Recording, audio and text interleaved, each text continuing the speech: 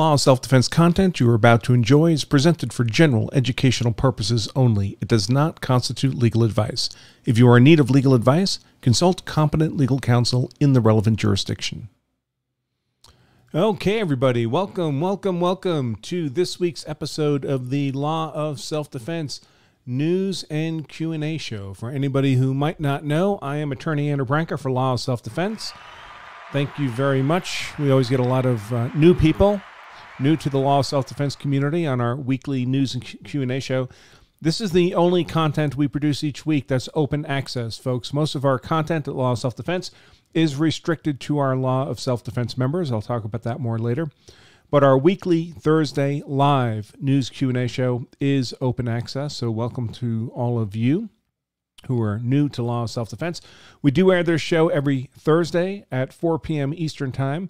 Uh, we broadcast it live on facebook on YouTube and for the Law of Self Defense members on their member dashboard over at the Law of Self Defense website.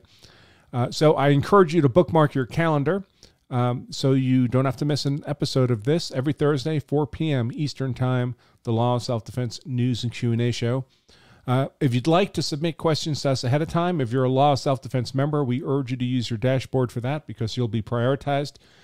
Everybody else can send questions in for our consideration to show at Law of Self Defense. And what we do in this show is uh, we cover some interesting uh, use of force law news that's been in the media or been brought to my attention, seems to be of particular interest to the self defense community, and as well as answer questions that have been sent in to us beforehand or that are asked live during the show. You can, excuse me, submit questions live during the show just using the uh, comments field on whatever platform you're joining us on, the Law Self Defense member dashboard, or Facebook or YouTube. Excuse me.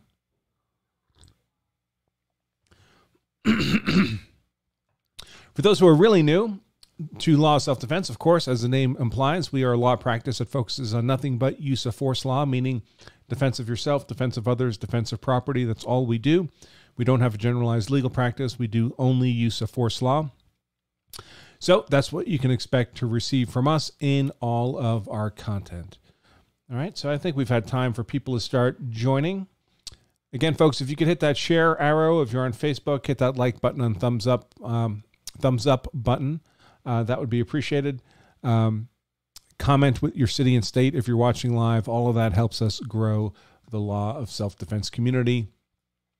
Obviously, Facebook or YouTube or any other social media is not inclined to do that themselves on our behalf. So we need to be a little tricky to encourage them to help promote us. Before I jump into the substance of the show, I would like, of course, to mention our sponsor, which is CCW Safe, a provider of legal service memberships, what many people mistakenly call self defense insurance. Um, in effect, CCW Safe promises to pay its members legal expenses if the member is involved in a use of force event. And those legal expenses start big and get bigger fast, folks. Most of the cases I personally consult on are aggravated assault cases with a firearm. They involve no shots fired, nobody injured, and that defender is looking at a felony charge of aggravated assault with a firearm, perhaps 10 to 20 years in prison, typically a normal law abiding person who's never been in trouble with the law a day in their lives. And now, just to retain an attorney, they're spending between thirty to fifty thousand dollars for a case like that, and that's what they spend if they get the charges dismissed. If they actually have to go to trial, it'll be a multiple of that. So, given the financial resources necessary for these kinds of fights, it can be helpful to have a partner behind you to pay those expenses if you're involved in a use of force event, and that's what CCW Safe does. Now, there are a number of companies out there that offer similar kinds of services. Uh, I've looked at all of them, as you might imagine. I found that CCW Safe is the best fit for me personally. I'm a member. My wife, Emily, is a member. Whether they're the best fit for you is something only you can decide, but I do encourage you to take a look at what they have to offer. And you can do that by pointing your browser to lawofselfdefense.com slash ccwsafe. And if you do decide to become a member, like me, you can save 10% off your membership at that URL, lawofselfdefense.com slash ccwsafe, by using the discount code LOSD10. That's LOSD for Law of Self Defense, and the number 10 for those of our members who are listening to this in the members only Law of Self Defense podcast format. So that's our sponsor. Now, obviously, the big story in the news these days is the Kyle Rittenhouse case. Uh, those of you who are law self defense members have been getting a relatively constant stream of content, legal analysis uh, of that case from us within 24 hours of that event occurring. In fact, we had our first legal analysis up, uh, the in depth legal analysis of this case. Folks, this one uh, piece of member content, a blog post, a video, a podcast, was by itself an hour and a half. Really, it's almost a mini course in use of force law all by itself, exclusive, of course, to law of self defense members.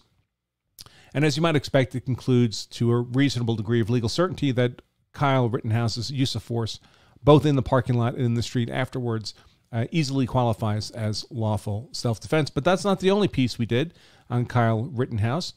Uh, very soon thereafter, we had our next blog post for our members uh, detailing what exactly prosecutors will have to disprove in order to convict Kyle of the criminal charges brought against him. We also explored why so many of the criminal charges brought against Kyle are based on recklessness rather than an intentional use of force. Some of that may be surprising to you. Uh, and once we discovered, of course, that the three primary uh, people against whom Kyle used force had, uh, to say the least, sketchy backgrounds, including um, reported gun law violations, reported domestic abuse violations. In one case, reports of multiple counts of child molestation. We explored in another blog post to what degree it was likely or unlikely that the defense would be able to get this character evidence about these attackers of Kyle um, in front of the jury in the courtroom. Then we also did a point. There's been a lot of discussion about uh, people alleging that it was unlawful for Kyle to possess his rifle in Wisconsin because he was under 18 years of age. In fact, that's one of the criminal charges that's been brought against him. A misdemeanor charge, by the way. Uh, so we do a detailed analysis one of whether it's likely that, in fact, he is guilty of unlawful gun possession. And in fact, a close reading of the Wisconsin statute suggests he's not. I know a lot of people are shocked to hear that. Uh, others are claiming that while if he gets off, it's just a technicality. But folks, it's just how the law is written. Uh, the law under which he's been charged, in effect, only applies in the context of the facts of this case to something that would qualify as a short barreled rifle. And as you can see in the picture there, it's not a short barreled rifle. So he simply doesn't fall within the scope of that statute. It doesn't matter what people might wish the statute said or what the legislature might have thought they wanted it to say. It only matters what the statute actually says, folks. And what it says is it applies only in the context of this case to short barreled rifles. That's not a short barreled rifle, does not apply. Uh, but we cover not just that in this blog post, but also even if it were unlawful for Kyle to be in possession of that uh, rifle, it doesn't matter uh, because even unlawful possession of the rifle would be irrelevant under Wisconsin law in terms of his claim as self defense. Uh, being in unlawful possession of a rifle does not cost you self defense under the laws of Wisconsin. And we go into a detailed explanation, law and evidence based explanation of that. But it's still not all. Uh, then, more recently, just a couple days ago, we did our most current post on the Rittenhouse case. A lot of people have been arguing that, well, maybe the guy shot in the arm, Gage Grosskreutz, what if he was just trying to make a citizen's arrest? What if he thought the earlier shooting of reported child molester Rosenbaum in the parking lot was an unlawful killing by Kyle Rittenhouse, and therefore he was going to make a citizen's arrest of Kyle? That would make Gage's conduct, if that any of that were true, that would make it lawful conduct, not unlawful conduct. So would that undermine Kyle's privilege to use deadly defensive force when Grosskreutz approached with the pistol? So we cover that as well. I may do a separate blog post on Wisconsin citizens arrest law. Uh, Wisconsin, in fact, has no statutory citizens arrest law at all, uh, but it does have, of course, common law based, case law based uh, privileges for citizens arrest, which, frankly, I don't think would apply in this circumstance anyway. Um, but that would be a topic for a future post. All these posts, of course, um, actually arise or are available only to law of self defense members. So if you're not a law of self defense member, you haven't seen any of those. Too bad, because law of self defense membership is dirt cheap, folks. It's only about 33 cents a day. That's it. That's the normal price. Uh, and you can try it out for two weeks, a full two weeks, for only 99 cents. just point your browser to lawselfdefense.com slash trial. You can sign up for a 99 cent two week trial. If you don't like it in the two weeks, cancel. We'll refund 200% of your 99 cents. So it's a negative risk proposition. But if you like what you see, and most people do, and you decide to stay a member, and most people do, it's still only about 33 cents a day, folks. $9.95 a month. $9.95 a month for hours and hours and hours of world class, plain English, evidence based, law based legal analysis of these high profile use of force events. In fact, um, we've been getting so many questions from the general public about the Rittenhouse case, uh, and it's clear, it's obvious, it's to be expected, really, that these people they're new to the law of self-defense community. They've not yet been exposed to actual self-defense law. It's simply rarely taught anywhere at a very high level, except I humbly suggest here at Law of Self Defense. So they haven't seen our content before, they haven't taken our courses before. So to help out that general public, the those who are naive to actual self defense law, we've put together a Rittenhouse inspired uh, sales bundle for this week. We call it the Rittenhouse Bundle. Uh, to be clear, uh, Kyle doesn't have anything to do with this offering. It was inspired by him. Uh, as always, his legal team is free to reach out to us for any advice or expert opinion we could offer. I mean, frankly, they could become a trial member for 99 cents and pr- read pretty much all our legal analysis for that sum of money. So we don't need them to pay us anything really. Uh, but uh, for those of you who'd like a world class law school level, but plain English education in the law that governs all these issues in the Kyle Rittenhouse case, you might consider our Rittenhouse bundle. It includes our Law Self Defense Advanced course, which is about eight hours, full day, in depth instruction on use of force law. It includes our Advanced State Specific Supplement for the state of your choice. that state specific use of force law. It's a separate course. It includes our defensive property course, and it includes our newest course on lawful defense against rioters, looters, and arsonists. These four separate courses, if you bought them separately, would be about 500 bucks, folks. This week, 199. So you save about $300. If that's of interest, you can point your browser to lawofselfdefense.com slash bundle to take advantage of that. But this offer extends only through this Sunday, folks, September 13th. Uh, Sunday at midnight, it goes away. So if it's all of interest, I encourage you to take advantage of that now. Uh, a separate matter. Let's dive into the substance now. The news events I wanted to talk about. One of these involves uh, USCCA. Now, I told all of you up front that one of the UCCA's USCCA's competitors is CCW Safe. They're a sponsor of uh, much of our content, at least our live content, these Thursday shows. Um, I'm personally a member of CCW Safe, so that's all in full disclosure. Um, but USCCA has been in the news recently uh, around uh, one issue has been um, uh, that they have a member who was involved in a use of force event. She shot her estranged husband in a parking lot while they were supposed to be doing a child swap. Uh, let me see if I can pull that up. Her name is Kayla Giles. She was a USCCA Platinum member. Shot her husband in a parking lot, her estranged husband. Um, and uh, was charged with uh, the his unlawful killing, charged with murder. Uh, she's going to trial. She uh, submitted, uh, her lawyer submitted for reimbursement of her legal expenses to USCCA. USCCA paid the first $50,000 of legal expenses and then cut her off. Uh, now, we can really only speculate as to the reasons they may have cut her off. in full disclosure, the case looks kind of sketchy. She'd signed up for USCCA only 12 days before she ended up shooting her husband you know that could mean she was planning it and wanted the policy in in place before she committed a murder of her husband or it could mean she was afraid of her husband was concerned she might have to defend herself and therefore wanted the policy in place. That would be a perfectly legitimate reason. We don't really know why uscca has cut off uh, coverage of kayla giles because they won't tell us. Um, i mean i've had a relationship with uscca uh, they licensed a copy of my book, The Law of Self Defense, to uh, print for their members. I used to be on their legal advisory board, and I called them and asked them, Well, what's the reason you're not covering this person? And they said, Well, no comment. We're in litigation because they are in litigation. Uh, Kayla Giles, their member, has sued them in federal court for the rest of the coverage for her legal expenses. By the way, her legal expenses pre-trial are already up over $150,000, folks. So that's how expensive these cases get. Uh, I mentioned this case only because it's in the news again, because I believe yesterday was the two year anniversary of Kayla Giles shooting her husband. So USCCA is popping up in the news in uh, association with those news stories, and people are asking me about it. I don't really have much to say. There's no new news. Uh, I don't know if it's whether because the, the federal suit against USCCA is being slowed down for strategic legal reasons or it's just COVID slowing everything down. Not much is happening in the case. Um, I can tell you, USCCA has filed a lot of motions uh, for sealing the records in this case.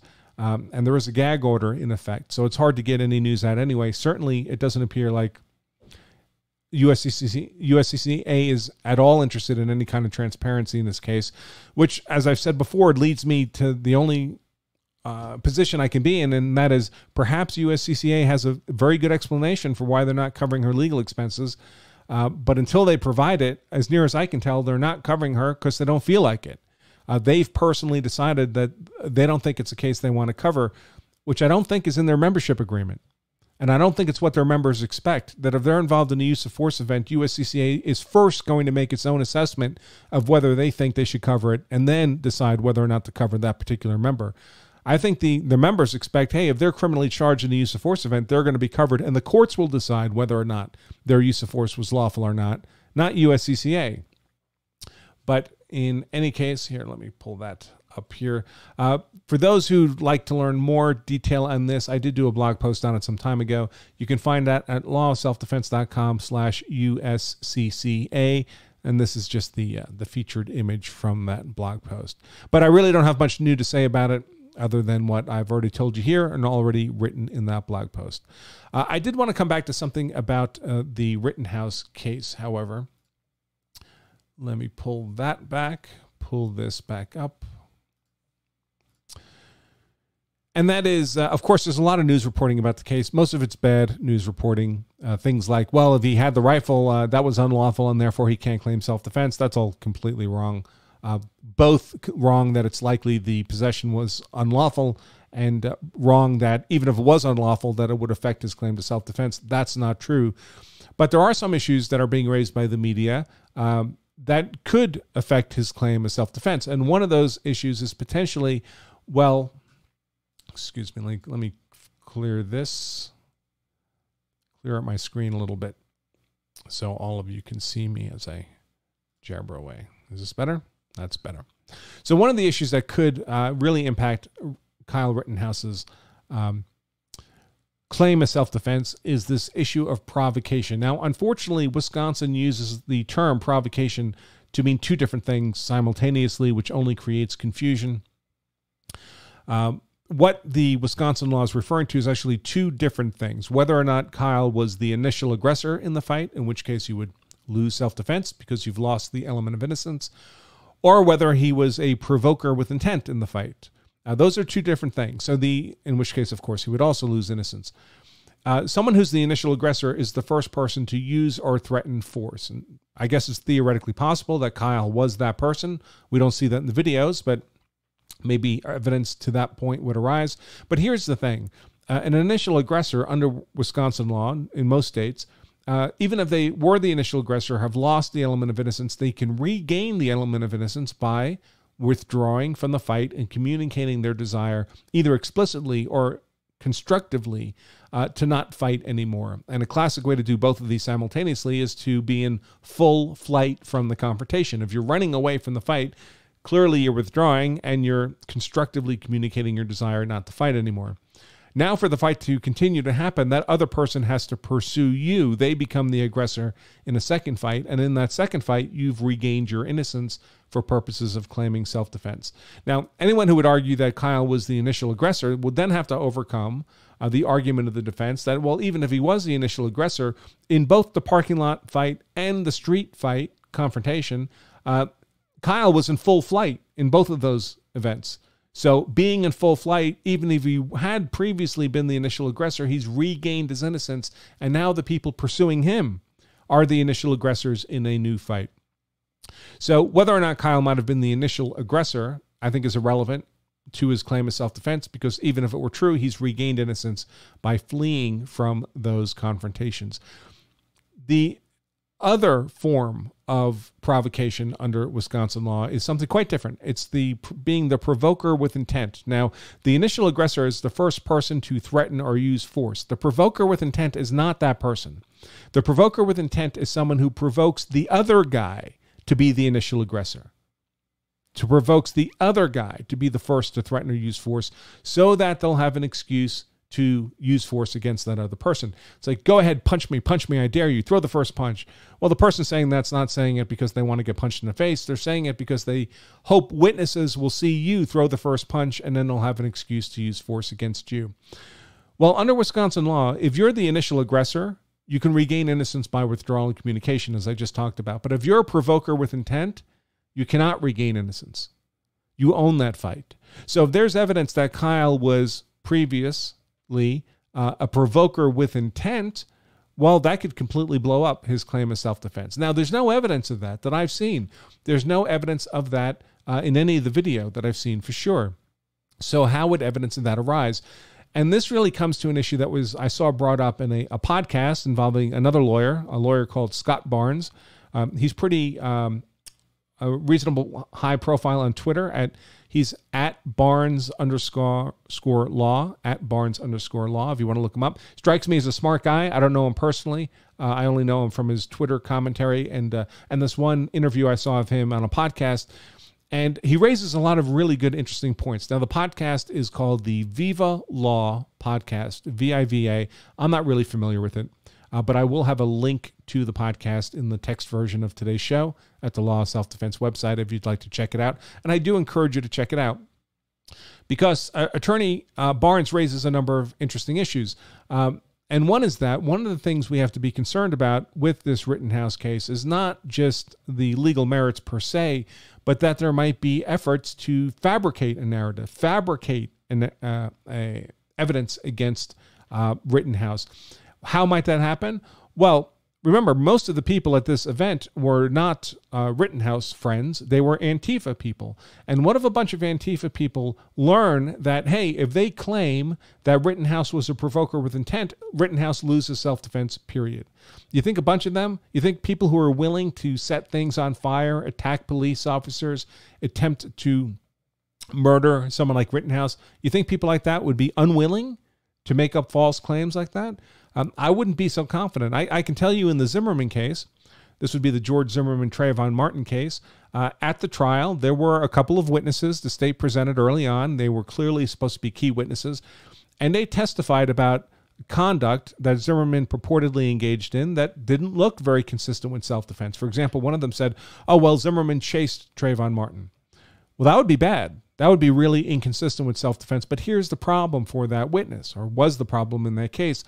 Uh, the defense had previously deposed her. The state had previously deposed her. She'd been questioned about what she knew about the case before, months before. You have to remember there was months, like a, a year or more, between the event and the trial. So lots of time for investigation, depositions, collecting of evidence. And the first time this woman ever said that she had a perception that Zimmerman had chased Trayvon was in that witness stand in the courtroom. Well, if you've been questioned again and again and again by both sides in a criminal prosecution and you never mentioned a fact as key as that, well, it's simply not credible that you're mentioning it for the first time at trial, which, of course, is what the defense said on cross examination. And they just crushed this witness. She looked completely not credible. Everything about her demeanor was a person who was lying on the witness stand. And obviously, the jury gave her no credence at all, given that they unanimously uh, acquitted Zimmerman of all charges. But the reason the defense was able to do that was because they had those earlier depositions. They had that earlier um, questioning where this woman had never said anything of the time, and the thing was really of key importance uh, in the narrative of guilt. What happens if you don't have those depositions, that prior questioning? What happens if you really never, for all practical purposes, talk to the witness before they're on the witness stand? Uh, then you have no way to challenge the credibility of their claims. Um, well, in the Rittenhouse case, we could end up with a situation where we end up with a bunch of state witnesses lying on the stand about Rittenhouse being a provoker with intent, uh, providing the jury with evidence that they should deny Rittenhouse self defense, period, and no way to challenge the credibility or veracity of those witnesses unless they were deposed and questioned beforehand. And for that to happen, the defense needs a lot of resources. And from what I hear, they've collected lots of resources already, hundreds of thousands of dollars, which is good. But they also, the defense team needs to be closely engaged on the ground every step of the way.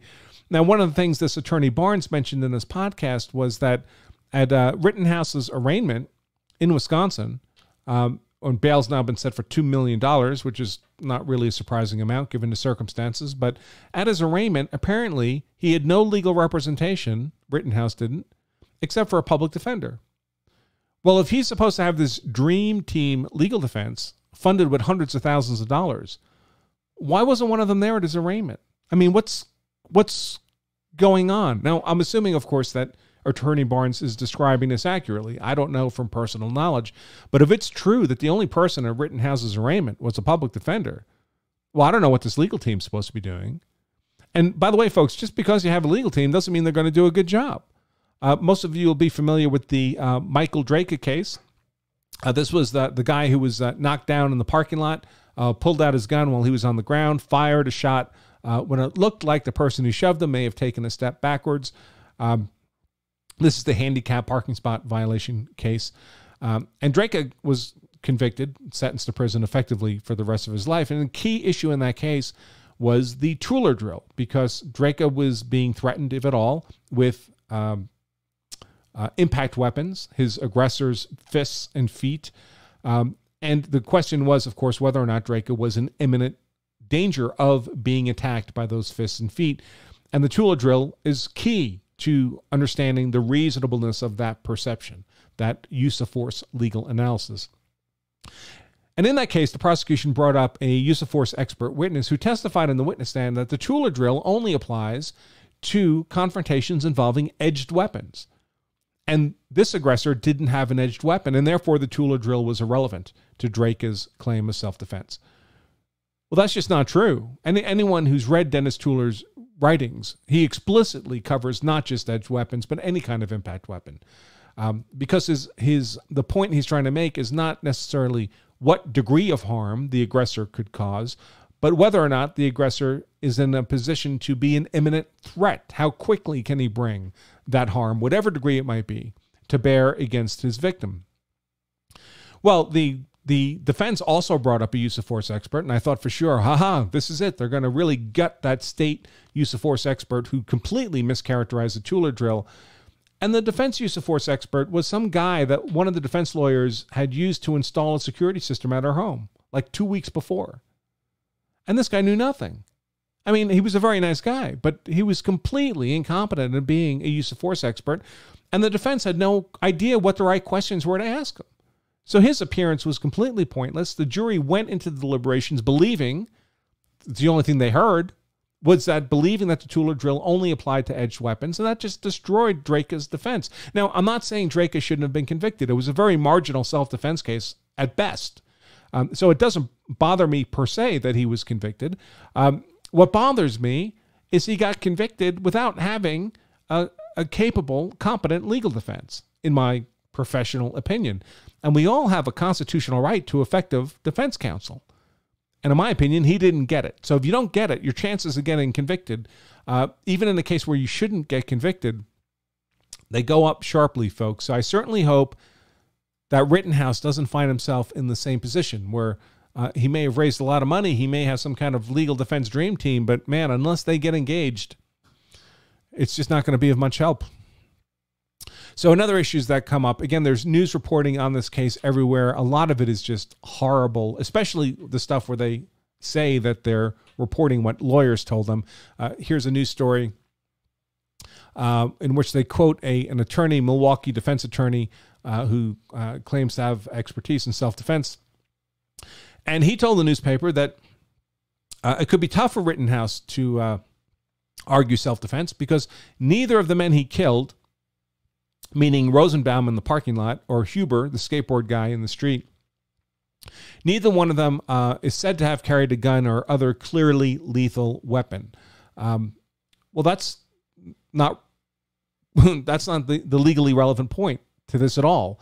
Uh, Rittenhouse is privileged to use deadly defensive force, uh, not if his attackers had a gun or a knife or other quote unquote clearly lethal weapon, he's allowed to use deadly defensive force if either of those men reasonably appeared to be an imminent deadly force threat. Now, in the case of Rosenbaum, Rosenbaum was chasing or pursuing um, Rittenhouse across uh, across the parking lot, and Rittenhouse was hearing shots fired from Rosenbaum's direction.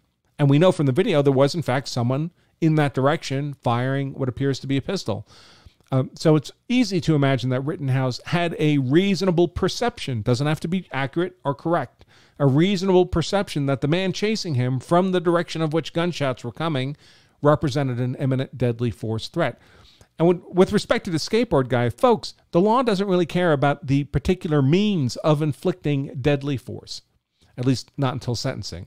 Uh, all the law cares about is was it deadly force? Now, clearly, a weapon designed for that purpose, uh, used in the intended manner, a gun or a knife used in an offensive way, would qualify as a use of deadly force. But, folks, a skateboard to the head is deadly force. It's force likely to inflict death or serious bodily injury. That's the definition of deadly force. It's no less deadly force than a baseball bat to the head, or a cinder block to the head, or a piano to the head. It's all deadly force. And that's what's required the appearance, the reasonable appearance of an imminent deadly force attack. And uh, a, a, a person who's been sent to the ground in a mob attack, who's now being struck in the head with a skateboard, that's a reasonable perception of a deadly force attack every day and twice on Sunday. So I just point this out again, one, to kind of explain how that law works. And second, just because you see a newspaper quoting someone who's purportedly an attorney with expertise in self defense law doesn't mean that attorney actually knows what he's talking about at all, or alternatively, more kindly, perhaps the attorney does and the media is simply re- misreporting what he told them. That's always possible too. But in any case, if it's in the media, you're reading it in the news, you must assume whatever use of force law they're describing from whatever source to be 100% wrong until proven otherwise. Okay, let's see what else we have here. Oh, yes, I was sent a uh, press release from a law firm, happens to be in Texas. Uh, interesting uh, law firm, it looks like. Their motto is uh, well, the law firm's Walker and Taylor. Right away, it sounds like. Um, uh, a TV show, right? Like a Texas Rangers TV show, Texas Ranger, uh, Walker, Texas Ranger. Walker and Taylor is the firm, and their their uh, motto, their logo says "Locked and Lawyered," which is encouraging from my perspective. Um, but in any case, they they had a press release release um, where they were talking about the risk that Texas defendants, their clients, could find themselves facing charges just like the McCloskeys in Missouri are facing. The McCloskeys are the husband and wife who are out on their front yard, yard uh, facing off a mob of Antifa people who trespassed on their property, broke the gate to get into their property, um, were apparently threatening them with death, threatening to kill them and go sleep in their bedroom, threatening to kill their pets. Um, obviously, a massive disparity of numbers as well uh, just the two McCloskeys in front of their home on their front yard, facing dozens and dozens and dozens of a mob that the McCloskeys were well aware uh, mobs of this type had been committing arson, burning down buildings within blocks of their home. Uh, so they had a, a reasonable basis on which to have a fear of deadly force harm. Of course, arson is deadly force harm. But they never fired a shot, right? They never shot anybody. They never discharged their weapon. And this Texas law firm, Walker and Taylor, is saying, hey, if they never shot, fired a shot, if all they did was threaten the use of force and they didn't actually use force, those two circumstances should be treated differently. Use of force, mere use of, uh, sorry, mere threat of force should be treated differently than use of force. Uh, now, so there are states that do make explicit kind of public policy decisions about this. Mostly, well, sometimes the courts do it, and sometimes the legislature doesn't. So there are states that explicitly say, hey, we're going to treat a threat with a gun exactly the same as we're going to treat a use of a gun. Massachusetts, where I used to live, uh, where I'm still a member of the bar, uh, is one of those states. So if you threaten somebody with a gun, don't fire a shot, but threaten someone with a gun in Massachusetts, you have to meet the same legal threshold as you would have to meet if you actually shot them with a gun. Same same thing. They don't treat them differently. And the this was a court made rule, and the reason the courts adopted that rule is they said, listen, if we let people just pull the gun under circumstances where they wouldn't be privileged to actually shoot it, we're kind of encouraging people to pull a gun. Um, and create a situation in which it's easier for things to escalate to shots being fired. So we don't want that. You can't pull the gun unless you would have been privileged to use the gun. Other states take the opposite approach and they clearly distinguish, explicitly distinguish between mere threat and use. And Louisiana is one of those states. They allow for the threat of a gun under circumstances where the actual use of the gun would not be privileged. So you can point the gun at someone, that's lawful, but you can't shoot them because that would be unlawful under the same fact scenario. So they they have an explicit policy about this and they explicitly say mere threat of force we're going to treat differently, more liberally than we will the actual use of force. The standard for the actual use of force is going to be higher. And unfortunately, between those two extremes, the large majority of states are irritatingly ambiguous about how they plan, if they plan, to distinguish between a mere threat of force and a use of force. And this law firm press release, and I again I'll link this in the text version of today's show, they they do it in a very confusing uh, and not uh, very rigorously thought out way. Their their arguments a little not as coherent as I would like it to be. But the bottom line is what they're arguing for is that a threat of force should be treated than a use of force, and specifically they're saying, hey, if the use of force, if the firing of the gun would be the basis for a felony charge, uh, against which, of course, you'd have to raise a legal defense then. Let's say the legal defense is self defense. Yes, I fired the gun, but I did it in self defense. If the actual firing of the gun would be the basis for a criminal charge, uh, then the mere threat of the gun should only be treated as a misdemeanor offense. You didn't actually fire it, you didn't actually shoot anybody. We should differentiate threat and use by saying, all right, even if use would have been a felony against which you'd have to raise a legal defense, Mere threat is only a misdemeanor against which you'd have to raise a legal defense. And the important thing there is the legal defense you have to raise is much easier for a misdemeanor than for a felony. So it'd be much easier to raise a defense against a misdemeanor charge than against a felony charge. Also, of course, the the criminal liability for a felony charge is enormously greater than for a misdemeanor charge. So if the if the use or threat of the gun is treated like a felony, you could be looking at 10 or 20 years in prison. If it's only a misdemeanor, you're looking at, by definition, less than a year in prison.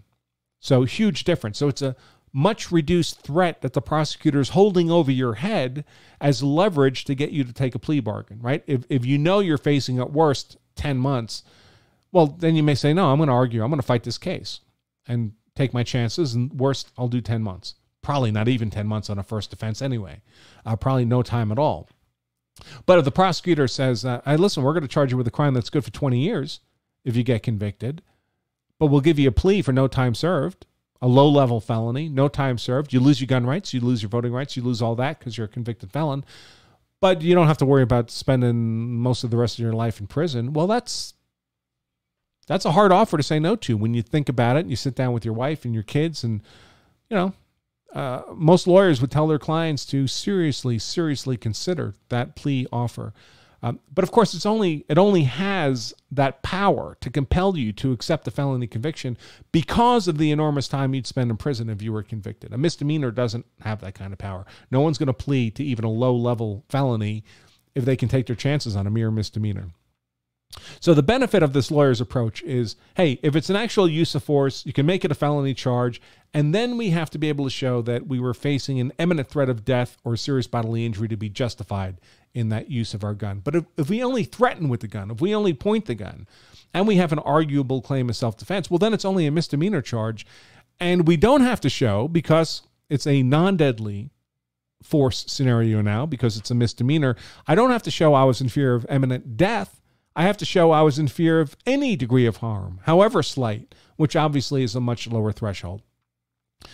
So I think really, if you look at this from a public policy decision, there's good arguments to be made. Frankly, uh, I think reasonable people could come down on both sides. I think reasonable people could say, no, we don't want you waving a gun around when you wouldn't be allowed to use it. Uh, like the Massachusetts court said, well, it could escalate the situation to gunfire when it didn't need to go that way.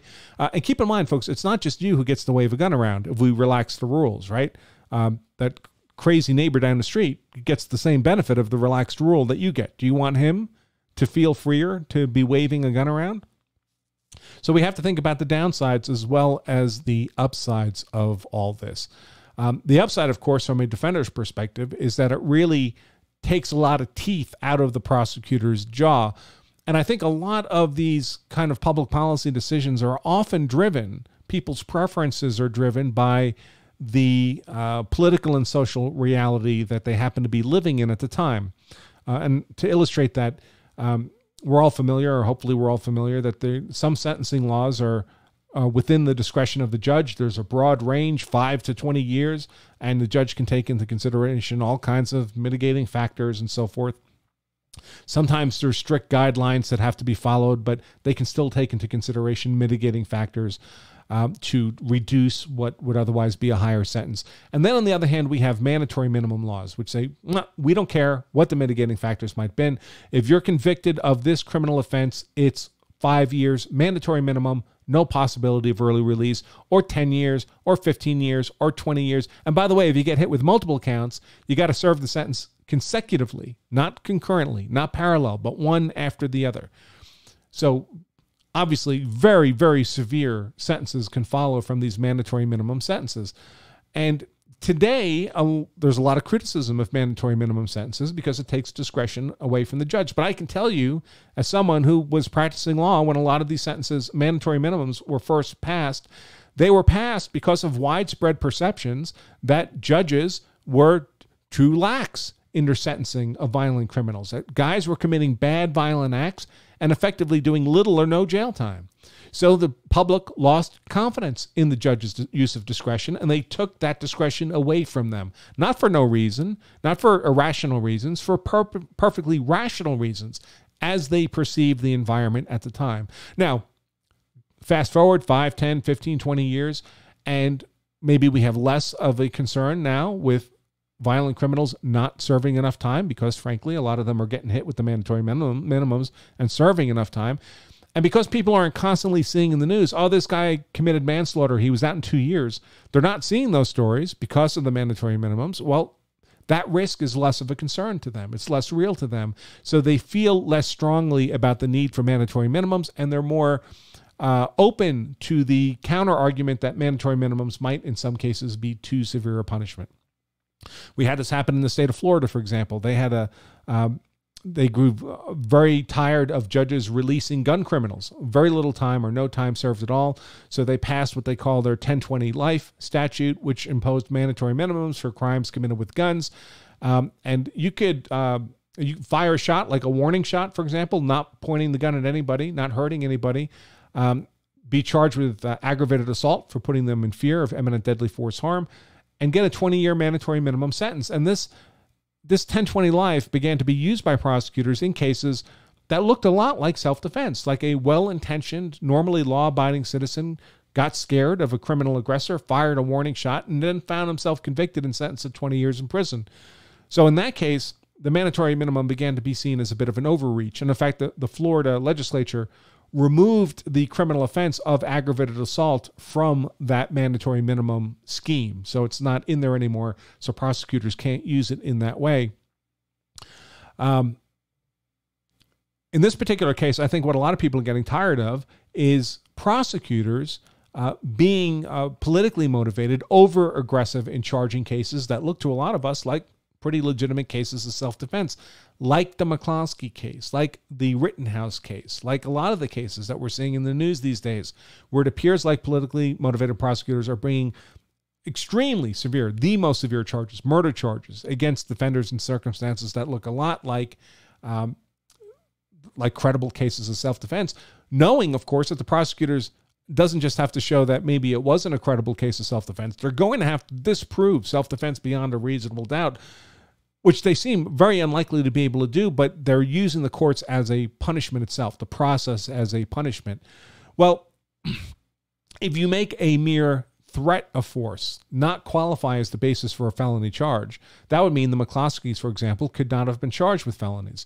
That would mean they're not looking at 10 or 20 years in prison. That means their legal defense is only to show that they had a expectation, a reasonable anticipation of some degree of harm, however slight, which they could almost certainly do. So that takes away teeth from the prosecutor. Right now, the prosecutor was simply able to charge them with felonies. Um, now they're facing decades in prison. Now they have to be able to prove they were facing an imminent deadly force threat as part of the legal defense. You can take those teeth away from the prosecutor if you treat threat of force differently than actual use of force. So that's what that press release was about. I just thought I would share that with all of you. Let's see how much time we have. Can I dive into something else? That topic is very long, so I'll skip it. Oh, by the way, so I'm sure all of you know about this uh, the Jacob Blake shooting. Jacob Blake was the guy who was reaching into his car when he was shot seven times in the back by police. He's now apparently paralyzed from the waist down. Uh, the first news reports about Jacob Blake was that, oh, he was just there uh, to settle an argument between two women in the neighborhood, uh, and the police lost their minds and just decided to shoot this unarmed man seven times. Of course, this almost invariably happens. We learn that Jacob Blake was not a nice guy, was fighting lawful arrest. Uh, the police were exercising a open warrant on him uh, for rape, for trespass, for disorderly conduct. The rape, of course, being the most severe of those charges and uh, he had, was being subject to forcible arrest because he was not complying. He broke free of the cops, ran around to the driver's side of his car, uh, all the while being at gunpoint by police who were screaming at him not to do any of this. Opened up his car door, reached into the car where a knife would later be found, and uh, that's when the police shot him. So, near as I can tell, about as clean a police shooting as possible. But of course, Jacob Blake now, they have uh, football players are wearing his name on tape on their helmets as in some kind of show of support. Apparently, they forgot all about this guy's rape victim. Now, of course, the people who want to push this narrative of Jacob Blake as a, uh, a helpless victim of uh, racist police murder, uh, it's harmful to their narrative that Jacob Blake was had an open warrant for rape that the police were executing on him. Uh, so you can see the counter propaganda begin to come into play. Uh, here's an example of that. I saw a AP News headline uh, just the other day. Let me pull this up. Here's the headline. Uh, Associated Press uh, post claiming that Jacob Blake faces child rape charges are unfounded. Well, anyone who just reads the headline, of course, most people only read the headline would say, "Oh, wait, these rape charges against him were unfounded." Well, maybe he wasn't such a bad guy after all. People are lying about this poor Jacob Blake. I can't believe they would do that to him. Well, of course, most people don't read past the headline, but here at Law of Self Defense, we're not most people, so we do read past the headline. And here's what we discover. First, the uh, the American Associated Press piece uh, notes uh, while some social media users have sought to call Blake's character into question with false claims about his criminal record, again suggesting that this rape charge, this rape warrant, well, this is a false claim, right? And intending to uh, impugn Blake's character, to call his character into question. But if you keep reading, here's what you learn about the actual facts here. And that is that Blake was charged, the AP has to concede, with third degree sexual assault and had a warrant open on third degree sexual assault, but it did not involve a minor, according to the criminal complaint. So the AP's argument, in effect, then, is well, you know, come on, uh, Jacob Blake, sure. I mean, he was uh, he was not a nice guy, but he wasn't guilty of child rape. I mean, should say charged with child rape. He was only charged with rape rape. So I guess the argument is that well, if all he did was rape a grown woman, he gets a pass for that. That his victim, when he's at her home again, should not have called the police, or when the police show up, they shouldn't execute an open warrant for sexual assault on Blake. They should, what, just let him go? Let him stay there? The police should drive away? Let him continue to terrorize his rape victim? It's amazing how comfortable these propaganda outlets are to say almost anything if they think it advances their political team. What else do we have? Oh, something else I wanted to mention. So I've gotten a, in some of these high profile cases, a lot of money becomes involved, folks. Uh, uh, GoFundMe things and other means to gather together lots of money. Um, and it becomes possible for some of these things to become really a profit generating machine. Um, I want to show you a couple headlines. This is about the Ahmaud Arbery case. And apparently, Ahmaud's mom, uh, his mother, has become quite upset at what she perceives as organized efforts of other people unassociated with her or her son uh, to raise money off his name. Here's one headline Ahmaud Arbery's mother says some foundation using her son's name without her consent. Uh, she's uh, criticizing people using Arbery's name for nonprofits and trademarks. Um, another headline here, a little more histrionic. Ahmaud Arbery's mom, stop cashing in on his death, rips friends, fundraisers. Um, well, I can tell you, folks, that uh, that certainly can happen. I mean, I don't know if it's happening or not, uh, based just on headlines, but it wouldn't surprise me. Uh, it's not uncommon for an event that's kind of energized the public uh, for what can I call them, but grifters to go out there and say, hey, give us money. Uh, we're supporting this effort. And then they just keep the money.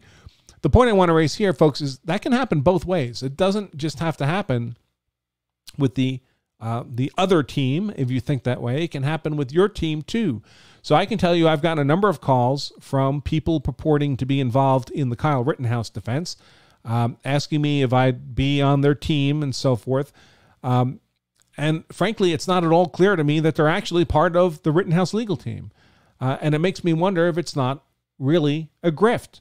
Uh, hundreds of thousands of dollars apparently have already been raised for Rittenhouse. I expect that to exceed a million in no time at all. That's a big pot of money that's going to attract, well, grifters. So I'm certainly not suggesting that anyone who wants to should not donate to the Rittenhouse legal defense. He's going to need all the resources he can get. So, if anything, I would encourage that. I'm, I'm all in favor of a robust legal defense for anybody, uh, particularly someone whose case looks as much as lawful self defense as Kyle Rittenhouse when such a case in particular is facing the kind of uh, politically driven uh, attack narratives that his is facing. I'm only urging you to be cautious about it, folks. Just because someone says they're collecting money for Rittenhouse doesn't mean they are. Uh, so keep your BS meter carefully attuned. All right, so I'll take the last 10 minutes or so answering some questions. We had a couple, I think, short ones I can hit pretty quick. Um, that came in over. Here we go. Uh, we had a question from one of our platinum members asking Does it make sense to buy uh, self defense insurance, legal service memberships, uh, if you don't carry a firearm? Uh, they do sometimes carry a knife, they say. Uh, well, I'd say two things about that. One is, uh, in terms of the law, the law doesn't care whether you defended yourself with a gun or a knife. It's both deadly force defense. You're going to face uh, the same kind of criminal charges. Uh, the only thing maybe you'd be missing is uh, a lot of states have um, sentencing enhancements or uh, kind of um, enhancements of the underlying crime if it involves a firearm, particularly the gun control type states. So that can be a difference there. But using a knife, is not going to save you from a felony charge of aggravated assault or aggravated battery or murder if the person you use the knife against dies. So the, the legal risk you're facing is really much the same for all practical purposes. So if you thought you would need the coverage if you were carrying a gun, just because you're carrying a knife doesn't mean you don't need it.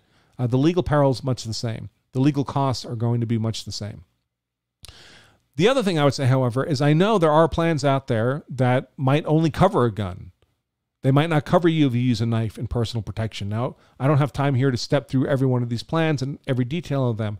I would just encourage you when you're considering one of these plans, make sure you know whether or not they're going to cover uh, the particular weapon you're using. Frankly, my preference would be that they're they're weapon independent, that it's just not a factor. The only thing that should matter to my mind is whether or not your use of force was in fact lawful. And I don't care if it was a gun or a knife or a car or a piano or an anvil from a great height, it, shouldn't make any difference. But I know some plans are organized around like concealed carry permits, and that's from their perspective, it's understandable, right? They know if someone has a concealed carry permit, they've at least passed a background check. They're probably not someone who gets into trouble much. So it's kind of a filtering mechanism for them. But just be aware, you know, with any insurance, folks, read the fine print so you make sure you know it's covered. Uh, that's why, although CCW Safe is a sponsor of our show, I'm personally a member of CCW Safe. I don't tell people that that's the plan they should get because I can't possibly know if it's the best fit for you as it is for me. You need to make that determination for yourself. I'll put that up, little CCW Safe slide up. Well, I mentioned that.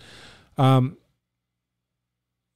Okay, another question that came in. I think at this point, given the paucity of time, let me look through this. So I brought up the uh, the threat of force in Texas, and every time I do that, one of our members, uh, I'm looking now at the member dashboard. Their questions get priority. Uh, Oscar James always brings to my attention uh, that Texas has a statute that uh, directly touches upon this issue. Uh, the essentially the threat of force as justifiable um, use of defensive force, or threat of defensive force making it different than use. And essentially, the language is if the threat was made for purposes, for defensive purposes, to dissuade an attacker. Uh, I don't have the statute right in front of me, but that's the general essence of it. The catch with that statute, of course, is that condition. It's lawful. That threat is lawful only if it was done for lawful purposes. Well, it becomes kind of a circular argument. Who's to say it was done for lawful purposes? Of course, that's what you're saying. But the guy you threatened isn't going to say that. You're going to say, "Well, I displayed the gun because he showed me a knife and told me to give him give him my wallet." Is he going to say that? He's not going to say that. He's going to say this lunatic in a gas station didn't like the color of my car and threatened me with a gun. Well, do the cops know what actually happened? Do the does the prosecutor know? Does the judge know? Does the jury know? Of course not. So it's nice to have a statute like that, but it's not nearly as decisive as it might appear to be because it leaves open the key question whether or not that display was, in fact, for lawful defensive purposes solely to dissuade an unlawful attack. Um, and if it's an open question, then you, you, go to trial just like anybody else would go to trial, even without that statute. So, oh, somebody else asked about that attorney Barnes. So, in that same video, um, podcast video, where Barnes, uh, attorney Barnes, is being interviewed, uh, he makes very clear that he thinks very little of two of the lead attorneys on the Rittenhouse legal team. One of them is Lin Wood. Lin Wood uh, represented Nick Sandmann in the civil litigation. Sandmann was the uh, young boy, the high school student, who was portrayed by CNN and other outlets as being a racist because he was uh, confronted by some Native American Indian banging a drum. And um, uh, Lin Wood uh, represented Sandmann civilly and apparently got some enormous judgment um, for libel slander out of CNN. Now, Lin Wood is, of course, again, a civil attorney. He's not a criminal defense attorney. Um, he's also brought onto the team, apparently, a guy called Frank Pierce, uh, another attorney. Pierce is a, I want to say, controversial, presented as controversial by the media. Uh, there's allegations that his law firm owes people a lot of money that they're not paying. I don't know if any of that's true. Most of what you read in the media is a lie for propaganda purposes. Pierce denies all of it. I don't know if what he's saying is true. Um, Clearly, Attorney Barnes has very strongly held opinions about both these guys, Lin Wood, Frank Pierce, and would never have them on any legal team that he was in charge of. Uh, but I don't have any personal knowledge to assess whether or not that perception by Attorney Barnes is accurate or whether there's anything wrong with Lin Wood or Frank Pierce that would suggest they shouldn't be on anybody's legal team. I just don't know. I mostly get concerned if I see things not happening that ought to be happening, or I see things happening that ought to not be happening. So my concern isn't really how Attorney Barnes is characterizing these two guys uh, personally. That's up to him, and he may know things I don't know. I couldn't say. My concern is when I hear things like, "Well, uh, Rittenhouse was, was at his arraignment with only a public defender." That's not good. That shouldn't be happening. Not when hundreds of thousands of dollars have been raised for him. Somebody not a public defender who's not not that there's anything wrong with public defenders folks most a lot of the best attorneys i've ever worked with have been public defenders i started in the law in the public defender's office um, but public defenders are almost invariably overworked if you've got hundreds of thousands of dollars for a legal defense you don't want a public defender not because there's anything wrong with a public defender but because that public defender can only ever give you 120th of their time. You don't want 120th of your attorney's time. You want 120% of your attorney's time. So someone should have been there. Um, so when I hear that, and by the way, I don't know if that's true either, but if I hear that, that gets me extremely concerned, much so, much more so than anybody's uh, personal characterization of another lawyer. Lawyers are, uh, it's not uncommon for one lawyer to say bad things about another lawyer. Okay, let's look through the Facebook comments now. Ah, Paul says he got his DVDs in his P.O. box. I'm glad to hear it, Paul. Be sure to let us know what you think. We always like testimonials if you really enjoy them, uh, tell your friends, and if you uh, if you don't really enjoy them, you know, silence is golden. But I'm sure you'll like them. See, Oscar James says he's sipping coffee from his Law Self Defense mug. That would be one of these mugs, folks. They're really quite nice mugs. Law Self Defense, hard to kill, hard to convict. Uh, and you can get your own if you'd like. They're at lawselfdefense.com slash mug if that's of interest. Let's see.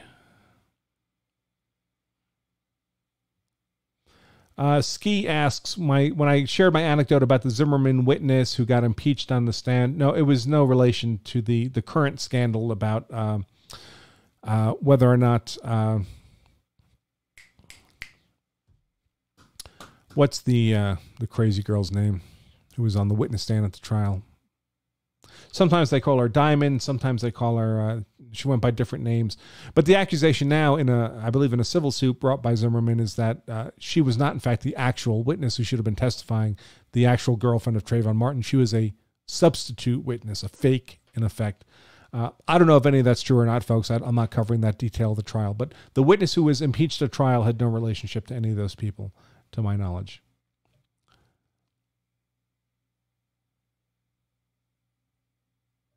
Oh, Jack says Walker and Taylor is a law firm behind Texas Law Shield, U.S. Law Shield. If you say so, I wouldn't know about that. I, have never really heard of them before, but I don't really pay attention to such things. Um, whoever they are, uh, they they they could have made a more co- coherent argument uh, in for the cause they were espousing than they did in that press release. I will say that. Let's see.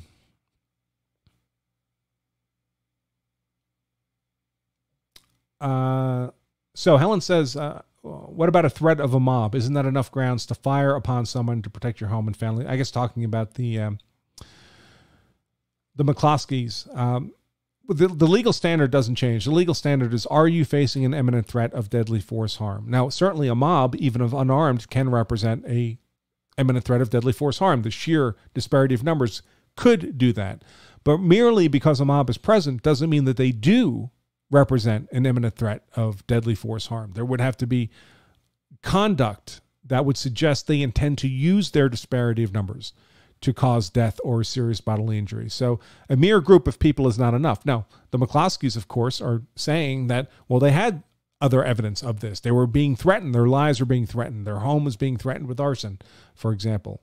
Um, but whether or not you know, I, I don't hear those threats clearly on the videotapes. It would have been nice if the McCloskeys had their own videotapes where those kinds of threats were clearly audible. Um, by the way, folks, another question that's come in with the Rittenhouse case is the guy who was shot in the arm, this Gage Grosskreutz, uh, because uh, he was shot in the arm and he was approaching uh, Rittenhouse with a pistol in hand, as we can clearly see in the video and still images. Uh, it turns out that Grosskreutz is a convicted felon, so obviously a prohibited person. It's not privileged to have a gun uh, as a convicted felon. It's another felony for a convicted felon to be in possession of a gun. Um, I think every state has that on the books now. When I first started practicing law, believe it or not, uh, Vermont did not have a state law prohibiting felons from being in possession of firearms. I believe they do now. I think they've since adopted it.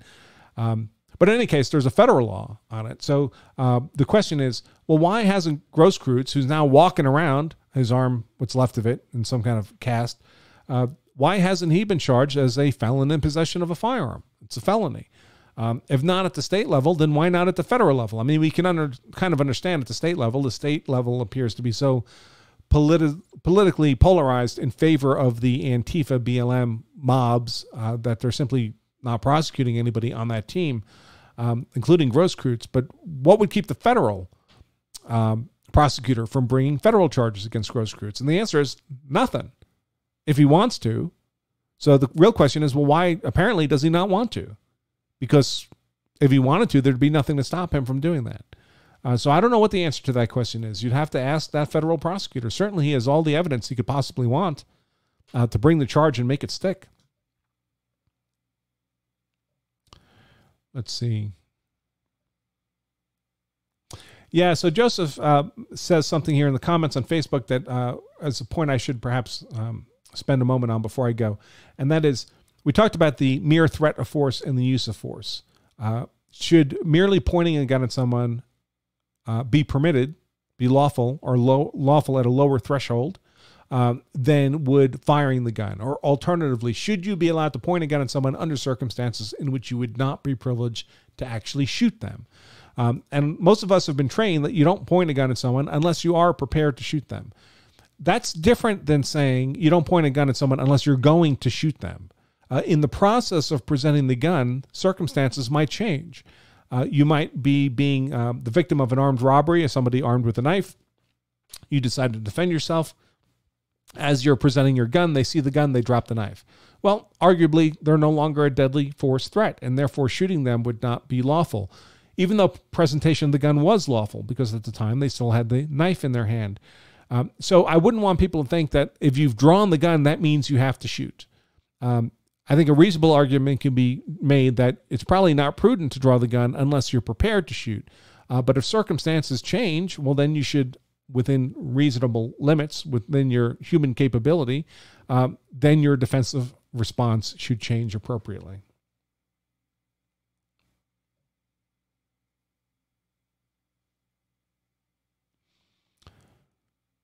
Uh, let's see. Uh, someone here mentions if you need a lawyer from you need a lawyer from your own state, he can hire professional consultants. Uh, you need a lawyer who's admitted to practice in that state. Now, sometimes the admission uh, process can be uh, rather flexible. Um, so, a lawyer who's got a, a, uh, lot of experience, a good reputation in another state, might be admitted by a court to practice in that state for the purpose of that one case that's before the court. Uh, that's not unusual. It happens quite often, especially in high profile cases uh, where a lawyer will come in who's not barred in that particular state, but the judge will permit them uh, to act as a lawyer in that one case as if they were a member of the bar. Um, I can tell you my own personal law practice here at Law of Self Defense, as I'm a member of the bar in Massachusetts. It's the only state I'm a member of a bar, uh, but I work on cases all over the country because I am a legal consultant in those cases. So that client is not my client. That client has a lead counsel, their lead attorney um, who is licensed to practice in whatever the relevant state is. And then my client is that attorney. And all my legal advice gets filtered through that lead counsel before it gets to the end client, uh, which is why I'm able to consult on cases in any state without having to be a member of that bar. I'm not providing final legal advice to that client. Their lead counsel is doing that. Uh, Ray asks, Is that an LFI certificate on the wall behind you? I'm surprised he can tell that, but yes, it is. I have uh, a number of my uh, most uh, valued certificates behind me. One is my LFI 1 class from 1996. Uh, another is my uh, certificate from the class I took with Jeff Cooper, uh, same year, I think, or maybe 95, 97. a couple humble IDPA certificates when I was actively competing, which unfortunately I don't have much time for anymore. Certificate from one of my talks at the FBI Academy basically it's my I love you wall. So, but yes, LFI certificate for sure. Uh, yes, Massad Ayoob is the guy who turned me on to this whole career, focusing my practice on use of force law. And of course, he was kind enough, as many of you know, to, uh, I think I got a copy of the book here, kind enough to write the foreword for the most current um, edition of the law self defense third person. Uh, many of us in the uh, self defense community stand on the shoulder of giants like Massad Ayoob. We couldn't possibly where we are be where we are today uh, without him having kind of um, plowed the road before us. So many thanks as always to Mas. Uh, John Gammon asks, "What about the low ready position?" Well, this just gets into, in other words, would that be a use of force, a threat of force? The law is completely ambiguous about it. It doesn't make any clear distinction. So it becomes a matter of discretion for the prosecutor. Um, now, I, I know in most of the country, most of the prosecutors I talk to, they do distinguish between a hand on a holstered gun and a gun at low ready and a muzzle on a person. Uh, they do distinguish between those things, and they're more likely to charge an aggravated assault if you have the muzzle on the person than if you've kept the gun at a low ready or if you just put your hand on the gun in a holster, even in such a way that it's obvious to the other person that you've done that. You've put your hand on a gun. Um, but they're not required to do that.